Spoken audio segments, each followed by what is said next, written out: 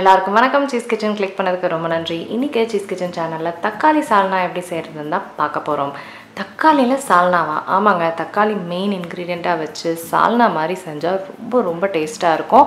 இது வந்து இட்லி தோசை சப்பாத்தி பரோட்டா இடியாப்பம் எல்லாத்துக்குமே சூப்பராக இருக்கும். எல்லா விதமான ஒரு மெயின் டிஷ்க்கும் இது வந்து ஒரு சைட் டிஷ்ஷாக பக்காவாக இருக்கும். இது ரொம்ப ஈஸியாக செஞ்சிடலாம். இது எப்படி செஞ்சுன்னு பார்க்கறதுக்கு முன்னாடி மறக்காம சீஸ் கிச்சனுக்கு சப்ஸ்கிரைப் பண்ணுங்கள் லைக் பண்ணுங்கள் பெல் ஐக்கானை கிளிக் பண்ண மறந்துடாதீங்க. அதுக்கப்புறம் ஷேரும் பண்ணுங்கள் இப்போ வாங்க இதை எப்படி செஞ்சுன்னு பார்க்கலாம். ஸோ குக்கரில் வந்து குக்கரில் தான் செய்ய போகிறேன் ஸோ குக்கரில் ஆயில் ஆட் பண்ணிக்கிறேன். சால்னா குக்கரில் செஞ்சால் ரொம்ப நல்லாயிருக்கும் எண்ணெயில் கல்பாசி சேர்க்குறேன்.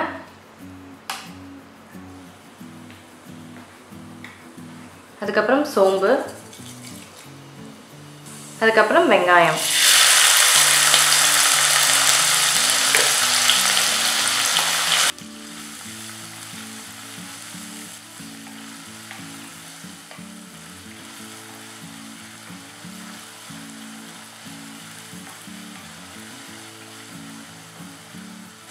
ஸோ வெங்காயம் வந்து நல்லா பொரியணும். நல்லா ப்ரௌன் ஆகணும். பாருங்கள் சூப்பராக குக் ஆகிடுச்சு நல்லா ப்ரௌன் ஆகிடுச்சு இப்போது தக்காளி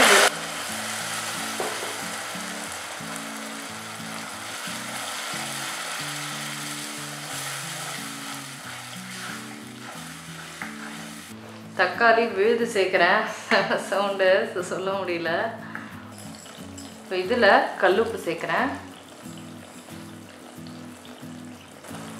சில்லி பவுடர் மஞ்சள் இது எல்லாத்தையும் மிக்ஸ் பண்ணி ஒரு த்ரீ மினிட்ஸ்க்கு வந்து இதை நம்ம நல்லா குக் பண்ண விட்டுடலாம்.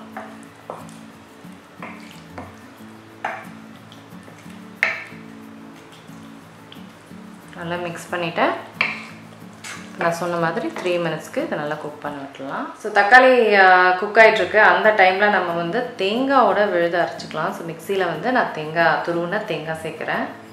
இப்போ இந்த அரைக்கிறோம் பார்த்தீங்களா இது வந்து நல்ல ஃப்ளேவர் சேர்க்கும் இந்த சால்னாக்கு.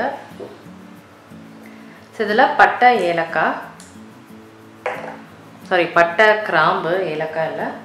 அதுக்கப்புறம் சோம்பு. இப்போ இதில் வந்து தண்ணி சேர்த்து நல்லா மையாக வர மாதிரி அரைச்சிக்கணும். திப்பி திப்பியாக எல்லாம் பார்த்துக்கோங்க நல்லா மையாக வந்து நம்ம அரைச்சிக்கணும்.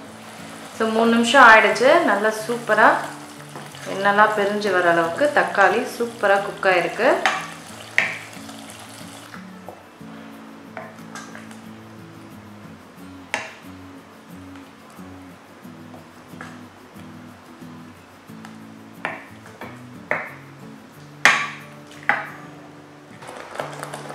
அதோட தண்ணியும் சேர்க்குறேன்.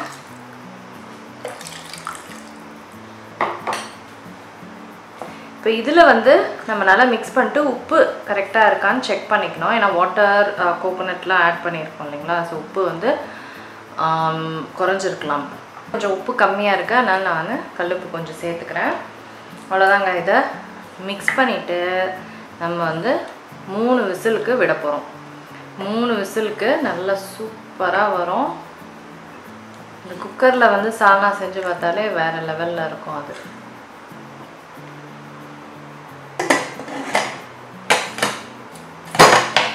ஸோ இப்போ வந்து மூணு விசில் கழித்து நான் ஓப்பன் பண்ணி உங்களுக்கு காமிக்கிறேன். ஸோ முடிஞ்சிருச்சு.